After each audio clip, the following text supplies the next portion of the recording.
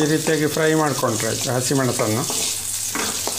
ಹಸಿಮೆಣಸನ್ನು fry ಮಾಡಿ, ಅಂದರೆ ತೆಂಗಿನ ತುರಿ ಜೊತೆ ರುಬ್ಬಿದರೆ ಚಟ್ನಿ ಸಖತ್ತು ಟೇಸ್ಟಾಗಿರ್ತದೆ. ಒಂದು ಪರಿಮಳವೂ ಹಾಗೆ ಚಟ್ನಿಯೂ ಹಾಗೆ ಒಂದು ಕೊಟಕ್ಕಾಗಿರ್ತದೆ.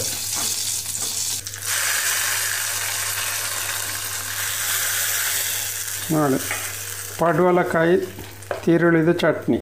ಇವತ್ತು ಪಡ್ವಲಕಾಯಿ, ತೀರುಳಿದು. ಅಂದರೆ ಇಲ್ಲಿ ಪಟಾಕಿಲಕಾಯಿ ಅಂತ ಹೇಳ್ತೇವೆ ನಾವು. ಅದರ ತಿರುಳಿದು ಚಟ್ನಿ. ಸೂಪರ್ ಟೇಸ್ಟ್ ಆಗಿರ್ತದೆ. ಅಂದರೆ ಸಾಧಾರಣ ಎಳತ್ತು ಪಡವಲಕಾಯಿ ಆಗಬೇಕು.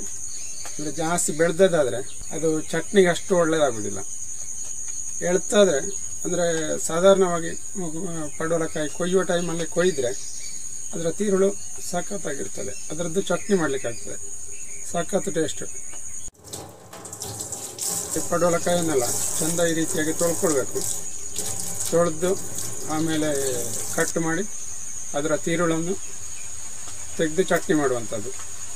ಹಾಗೆ ನಾನು ಪಡವಲಕಾಯಿಯನ್ನು ಆಲ್ರೆಡಿ ದೋಸೆ ಮಾಡಿದ್ದೇನೆ. ಅದರ ತಿರುಳು ಬಿಸಾಡಲಿಲ್ಲ. ನಾನು ಚಟ್ನಿ ಮಾಡುವಂತ ಹೇಳಿ. ಮಸಾಲೆ ಅಂತ ಅಂದರೆ ಫ್ರೈ ಮಾಡುವಂಥದ್ದು.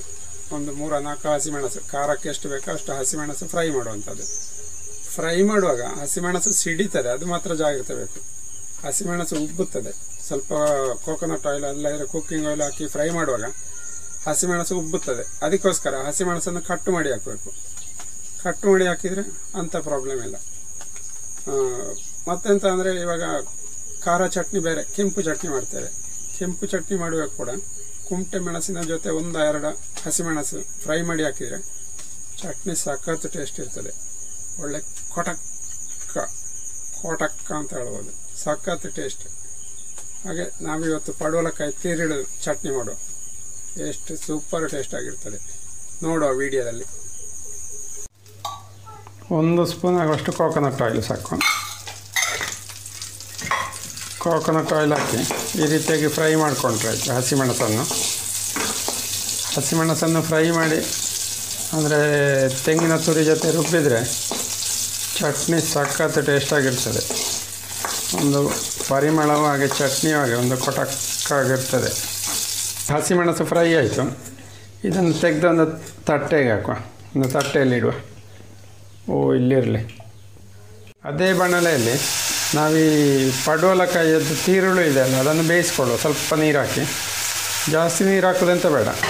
ಅದೊಂದು ಕುದಿಯುವಾಗ ಅಷ್ಟೇ. ಸೆಕೆ ಬರುವಾಗ ಬೆಂದು ಕೂಡ ಆಗ್ತದೆ. ಒಂದು ಸಾಕು ಇಷ್ಟು ನೀರಿದ್ದರೆ ಸಾಕು. ಇನ್ನು ಮುಚ್ಚಿಡುವ. ಅದು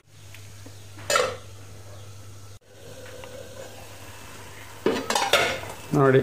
ಪಡವಲಕಾಯಿ ತಿರುಳು ಬೇಯಲಿಕ್ಕಿಟ್ಟದ್ದು ಚೆಂದ ಸೆಕೆ ಬಂದಿದೆ. ಇಷ್ಟಾದರೆ ಸಾಕು. ಹಾಗೆ ಇದು ಸ್ವಲ್ಪ ತಣದ ನಂತರ ಸ್ವಲ್ಪ ತೆಂಗಿನಕಾಯಿ ತುರಿ ಹಾಕಿ ರುಬ್ಬಿಕೊಳ್ಳುವ. ತಣದ ಈ ಪಡವಲಕಾಯಿ ತಿರುಳನ್ನು ಮಿಕ್ಸಿ ಜಾರಿಗೆ ಹಾಕ್ಕೊಳ್ಳುವ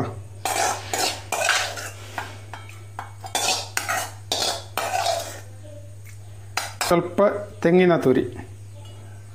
ನಮಗೆ ಚಟ್ನಿ ಎಷ್ಟು ಬೇಕು ಅಷ್ಟು ನೋಡಿಕೊಂಡು ಹಾಕಿದರೆ ಆಯಿತು, ತೆಂಗಿನ ತುರಿಯನ್ನು. ಸಣ್ಣ ಪೀಸು ಹುಣಸೆ. ಹಾಗೆ ರುಚಿಗೆ ಬೇಕಷ್ಟು ಉಪ್ಪು. ಉಪ್ಪು ಕಡಿಮೆ ಆದರೆ ಆಮೇಲೆ ಸೇರಿಸ್ಬೋದು. ಹಾಗೆ ಫ್ರೈ ಮಾಡಿದ ಹಸಿಮೆಣಸು. ಹಾಗೆ ಸ್ವಲ್ಪ ನೀರು ಹಾಕ್ಕೊಳ್ಳುವ.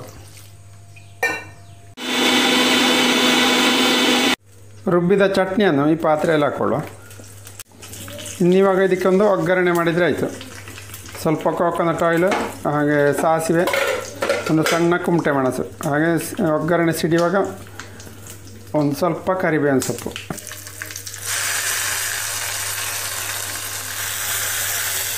ನೋಡಿ, ಪಡವಲಕಾಯಿ, ತಿರುಳಿದ ಚಟ್ನಿ ರೆಡಿಯಾಗಿದೆ.